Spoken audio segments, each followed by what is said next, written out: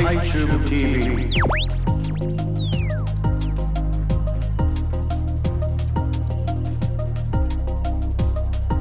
はい、こんにちは。札幌占い美容師さやましのことです。今日は、えーデジタルパーマとかまあこうエアウェーブとか、えー乾かし方をちょっとやりたいと思います。で結構、えー美容室で言われてわ、えーわからないという方が結構多いと思うんで、すごい簡単な方法をやります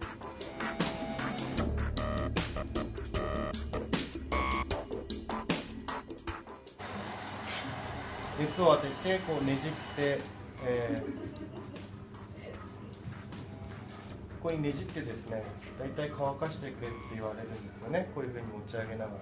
でこれ実は美容師さんはできるんですけどお客さんって結構できないので、えーこう言われても結構難しいですね。まあ、できる方もいるんですけどやっぱ自分でやるとなるとかなり難しかったりとかするので、まあ、こういう乾かし方っていうのはちょっと難しいのかなっていう感じがします。で、えーまあこれ今ですね。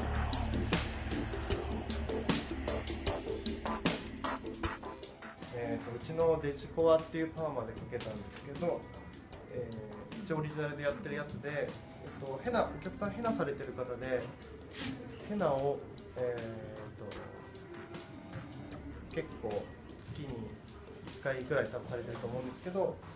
えーかなりパーマが全然かかんなかったんですけどデジコアのパーマだと傷まないで、えートリートメントしながらかけるんで、えーまあ、このように綺麗にかかります。で今まで担当させていただいた時はあまりパーマはかけれなかったんですけどデジコアのパーマをやるようになってからあのパーマが簡単にかけるようになりました。で、えダメージもやっぱりデジコアの場合少ないし、えーまあ、あのウェーブスタイルも作れるしあのブロースタイルも作れるんでかなりあのおすすめのパーマかと思ってうちの、まあ、一つの売りの一つともしてるんですけどで、まあ、簡単なあの乾かし方をちょっとやります。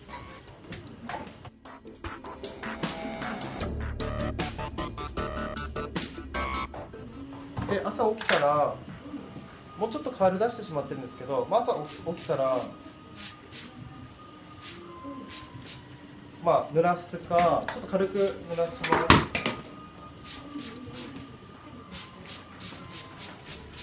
はい。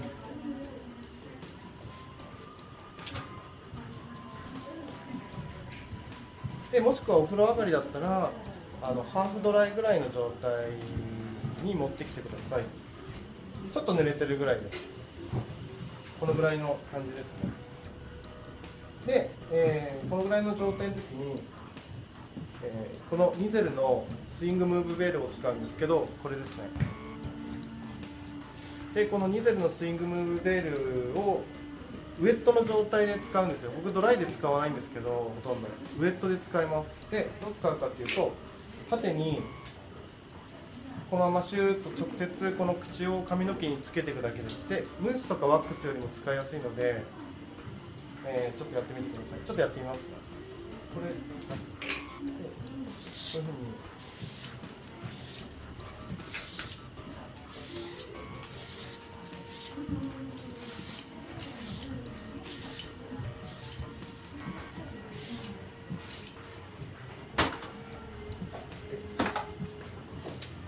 それで、えー、大体肩の高さぐらいまで持ち上げてもらって回したりしなくていいんでその状態でドライヤーを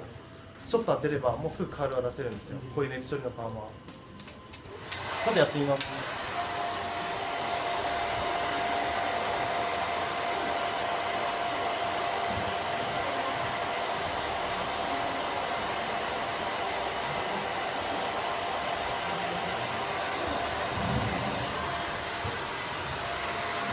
ますかね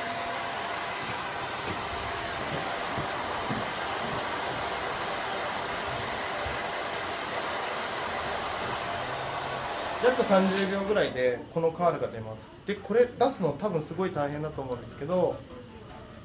これだったらお客さんでも簡単にできるんですよ。で、えー肩の位置まで持ち上げてもらうときはどうやるかっていうと、えー、砲丸投げみたいな感じで反対の方にドライヤーを持ってこういう風に30秒から1分ぐらい当てていただければもうそれでできます。でこちらも反対にドライヤーを持っていただいてこのような前に持ってきてもらってこういうことやらなくてもいいのでただこれだけでいいんですよ。なんでこういう風にやるやれって言われるので結構こうやってやるんですけどこれわけわかんなくなるんですよね。でできるほどできない方があったりとかするんで、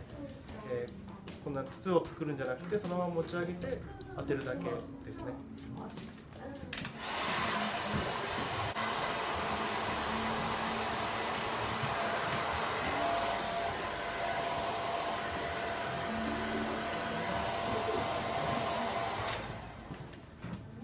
で、えーこれであの夜まで継続できるんですけどこのままだとちょっと、あのー固まってるんでこれを崩していく感じですね。束を崩していってスタイリングしていくような感じでいいと思います、はい、こんな感じで、えーより簡単にスタイリングをする、えー方法ですね。このまあ、ちょっとこれ使わないとダメなんですけど。ハードスプレーだとちょっとできないんで、えー結構ウェットで使うのは面白いかなと思って僕個人的にオリジナルでやってるんですけどあんまドライじゃなくてウェットで縦にこういう風につけていきます。だとお客さんができるんですね。でこれも安いですし1600円ぐらいかな。なんでぜひやってみてください。